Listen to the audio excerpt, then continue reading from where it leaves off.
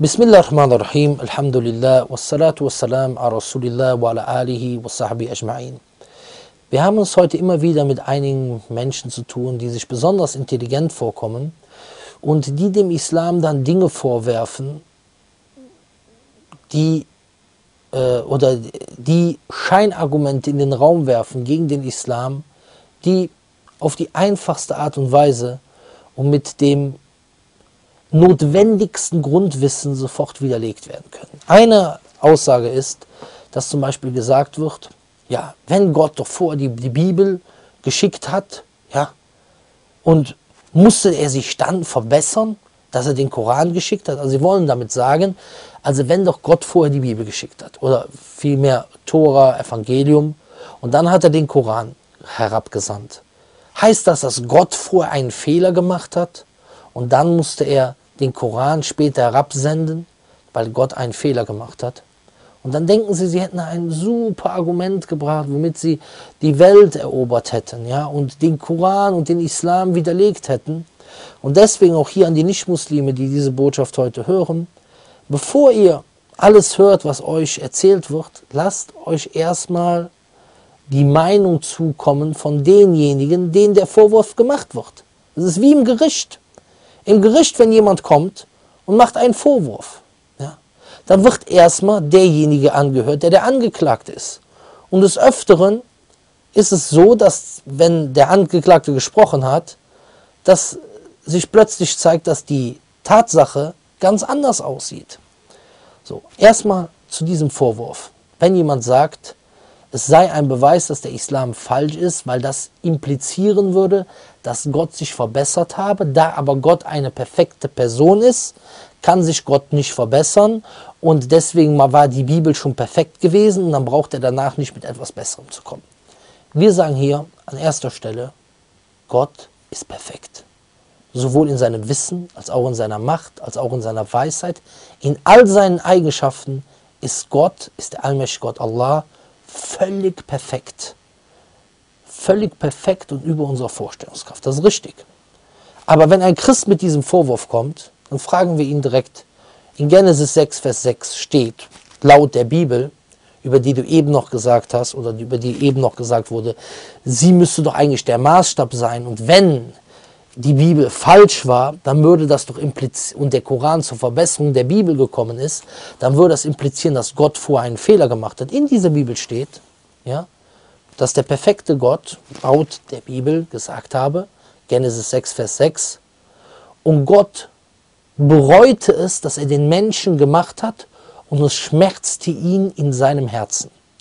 Ich wiederhole, der perfekte Gott, was du behauptet hast, sagt laut Bibel, Gott schmerzt es in seinem Herzen, er bereut es, dass er den Menschen erschaffen hat und es schmerzt ihn in seinem Herzen. Hier sagen wir als Muslime nicht, dass Gott einen Fehler gemacht hat. Erstmal, es würde implizieren, etwas zu bereuen bedeutet, dass man eingesehen hat, dass man etwas falsch gemacht hat. Und es schmerzt ihn in seinem Herzen bedeutet eine Schwäche. Das heißt, in der Bibel, in der jetzigen Bibel, Gott wird ganz klar mit Schwächen beschrieben. Und wir Muslime sagen, diese Stelle kann unmöglich von Gott sein, weil Gott keine Schwäche hat. Das heißt, der Koran ist nicht gekommen, um das Wort Gottes zu verbessern, weil Gott vor einen Fehler gemacht hat, sondern Gott hat es zugelassen, dass Menschen sich versündigen, indem sie die Bibel oder das, was vielmehr nicht die Bibel, sondern die heiligen Schriften, die Gott herabgesandt hat, verändert haben und er hat daraufhin danach Propheten gesandt, die diese Botschaft, das was verändert wurde, verbessert haben und berichtigt haben. Das heißt, sie haben es eigentlich nicht verbessert im Sinne, dass Gott einen Fehler gemacht hat, sondern sie haben das, was Menschenhand geschrieben hat, so wie auch steht in Jeremia 8, Vers 8, ihr denkt, ihr seid weise und die Botschaft Gottes sei bei euch. Ja, aber der Lügengrüffel, der Schreiber hat es zur Lüge gemacht. Ja? Dies ist die Aussage. Das heißt, Menschen haben hier etwas reingeschrieben. Und wir sagen nicht, dass, der, dass Gott vorher einen Fehler gemacht hat, sondern dass die Menschen einen Fehler gemacht haben und dass Gott es zugelassen hat, dass die Menschen einen Fehler gemacht haben, aus einer Weisheit heraus, die uns bekannt ist oder nicht bekannt ist. Aber hier sehen wir, dass die Weisheit darin besteht, dass der Mensch dazu aufgefordert ist, die Wahrheit, die klar und deutlich ist, zu befolgen, wenn sie zu ihm kommt. Denn für jeden Menschen ist klar, wenn er sieht, dass dort drin steht, wie beispielsweise in Genesis 6, Vers 6, Gott schmerzt es in seinem Herzen äh, und er bereut es, dass er den Menschen erschaffen hat, dass diese Aussage falsch ist. Wenn in Genesis 32 steht, Gott habe mit Jakob geruhen und verloren, da weiß jeder, dass diese Aussage falsch ist, dass Gott äh, nie und nimmer gegen einen Propheten verlieren kann.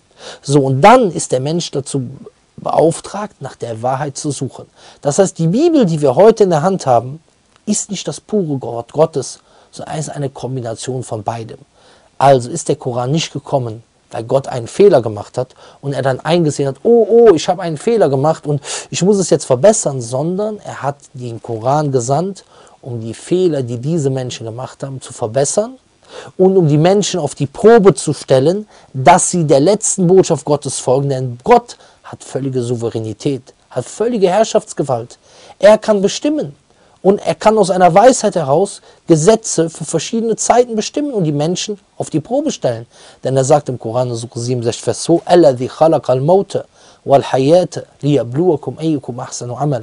Derjenige, der Leben und Tod erschaffen hat, um euch auf die Probe zu stellen, wer die besten Taten begeht.